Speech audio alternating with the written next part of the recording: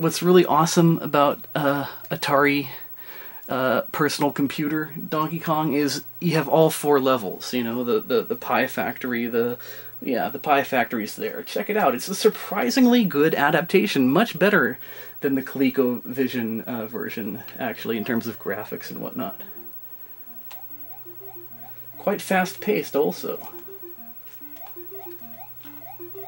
Pretty darn decent considering this is an 8 bit computer. I mean, look at how fast those things are going. Those are some extremely. I think th- these these barrels are rolling at me a lot faster than they would in the uh, arcade uh, machine. Believe it or not.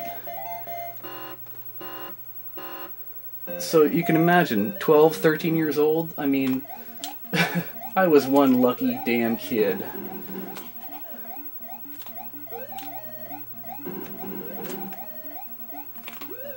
Spoiled rotten, basically. Oh, damn. You don't mind watching me play Donkey Kong for a while, do you? I figure this is like of historical interest to some of you alls. Or something. Uh-oh.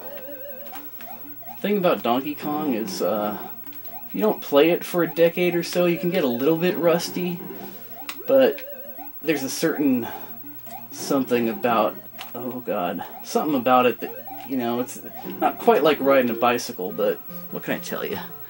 On some level, I've still got it. I'm not like those guys in that documentary, The King of Kong, you know? I'm not, not like that, but hey, you know, I, I like to play Donkey Kong, what can I tell you? There's just something addictive about it.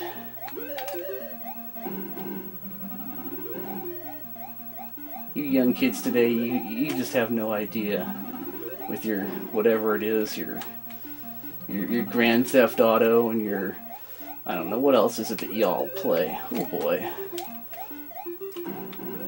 Oh, hit my head on the barrel above me.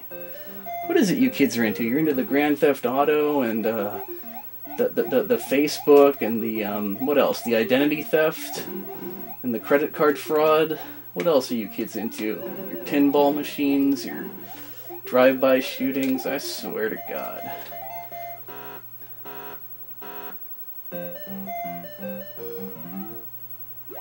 Oh boy.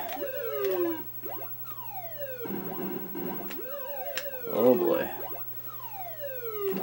Oh, give me strength, Lord. Dear Lord Jesus, please get me through this uh, very challenging level.